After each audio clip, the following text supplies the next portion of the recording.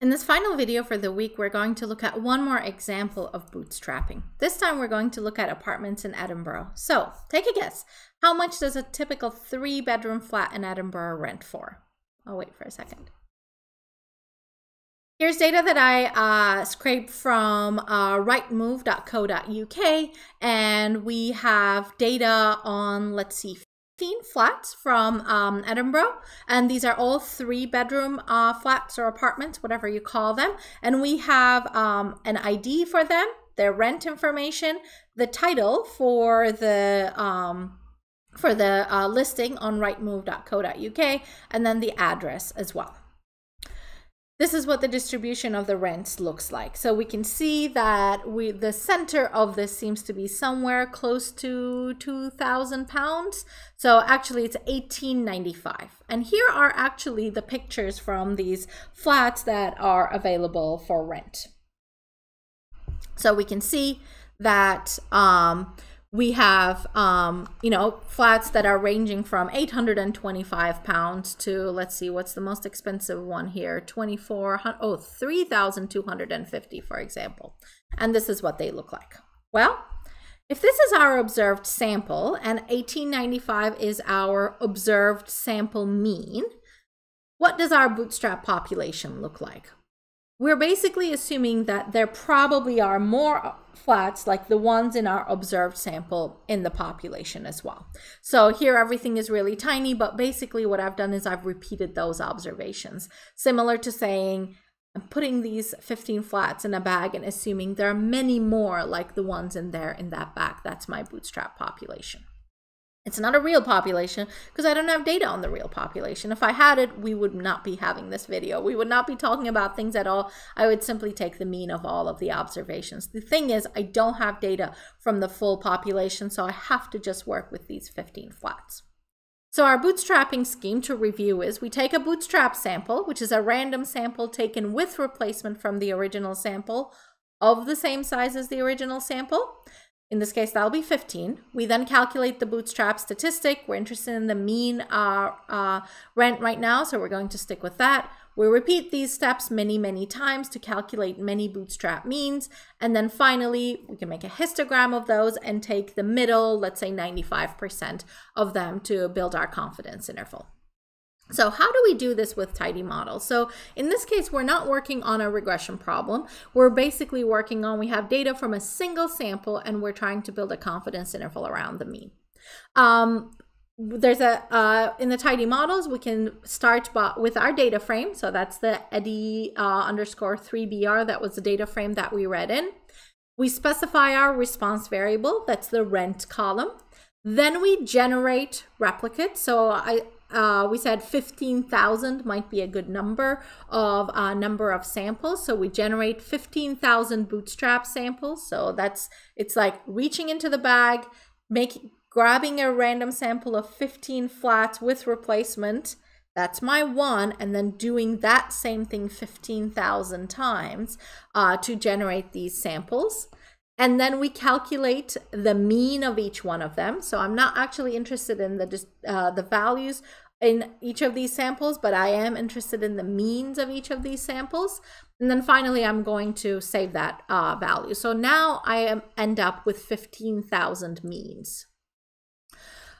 Those 15,000 means, each of them represent a mean of a bootstrap sample. Each of these values are no longer individual flats, but they are means of 15 flats. And we're going to look to see how much do they vary from one to another so that we can uh, quantify our uncertainty around how much the sample means vary. Um, so here is a distribution of those 15,000 means. Um, and we can see that the center is going to be right around the center for our, um, uh, right around our sample mean, which was 1895. Everything is distributed around that original sample. So if your original sample was not good, none of this is worthwhile because everything now is centered around uh, your original sample. All right, Dorian. There we go. So how do we calculate the confidence interval? Well, I have the sample. What I can do is I can say, give me the middle 95%. So for that, I would be saying, uh, I want to chop off 2.5% from the bottom end and 2.5% from the upper end. So I can calculate the quantiles of my um, uh, distribution of these statistics, one at the 2.5% mark and the other one at the 97.5% mark because we're looking at the middle 95%.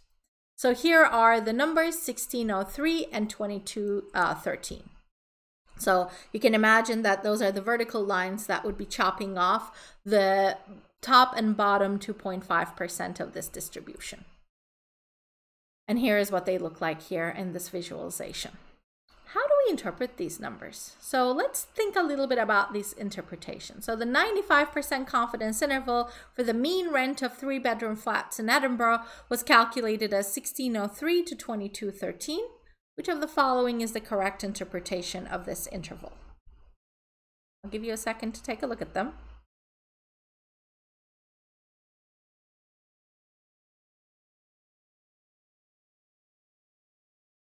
And let's go through them one by one. So A says 95% of the time, mean rent of three bedroom flats in the sample is between 1603 and 2213. Uh, is that right?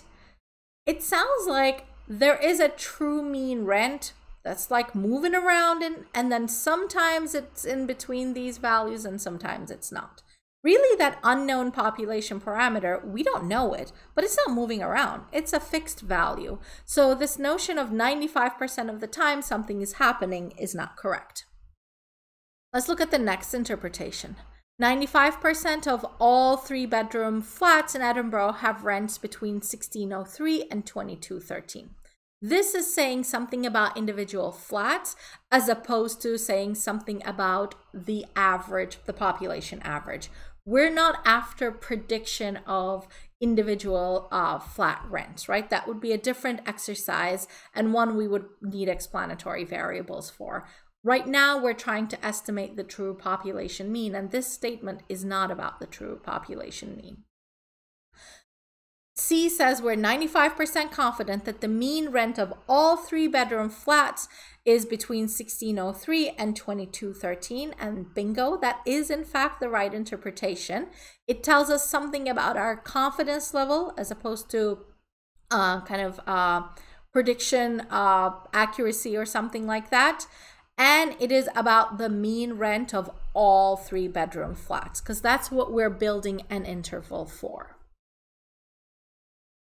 And finally, the last one says we're 95% confident that the mean rent of three bedroom flats in this sample is between 1603 and 2213. If you were to look at the difference between C and D, the difference is in this sample versus all, right? Um, which one is correct? Well, the correct one is C and not D because we already know what's in the sample. I don't need to build a confidence interval for this sample. I already have the data.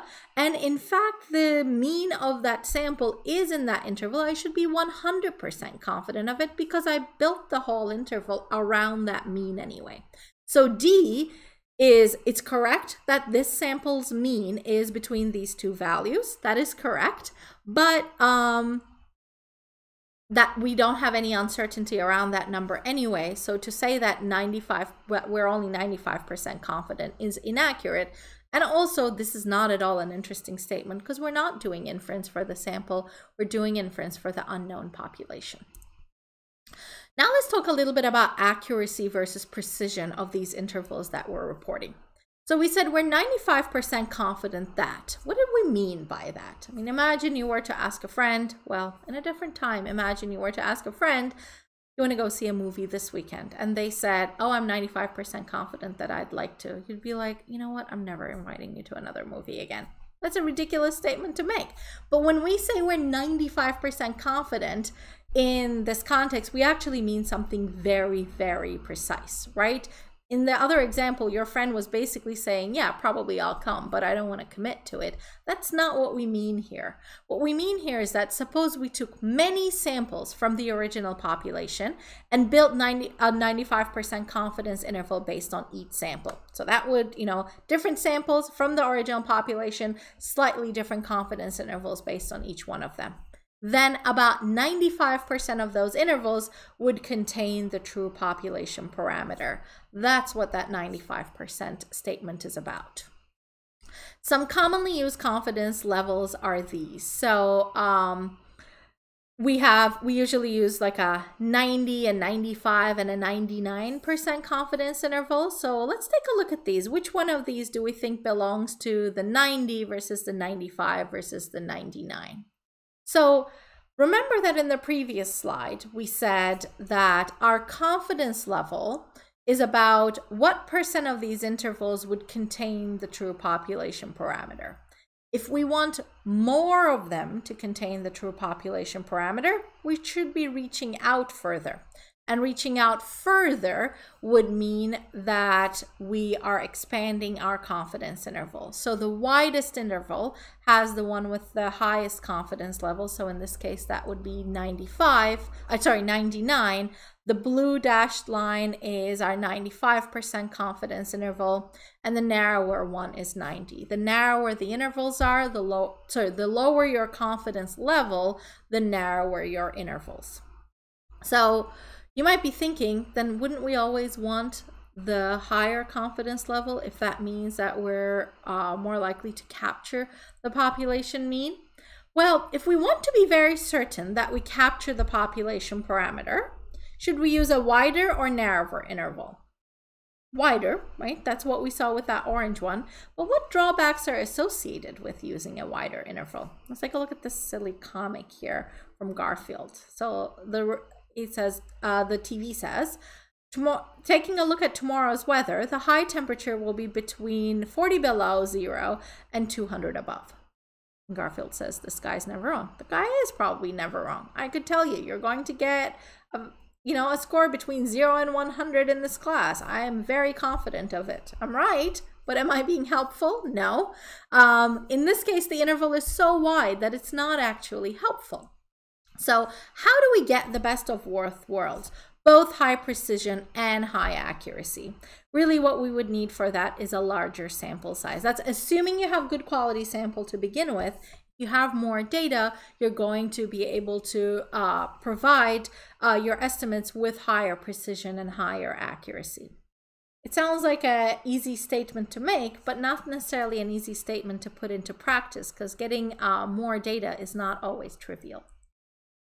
So in the um, in the context that we were working with in terms of the code, how do we change our confidence level between these 90 and 99%? So if we take a look at the code where how we build our bootstrap interval, so that's up to here, uh, where we specify our, our response variable, generate bootstrap samples, and what we calculate from each one of these bootstrap samples, the statistics, those have nothing to do with our confidence level.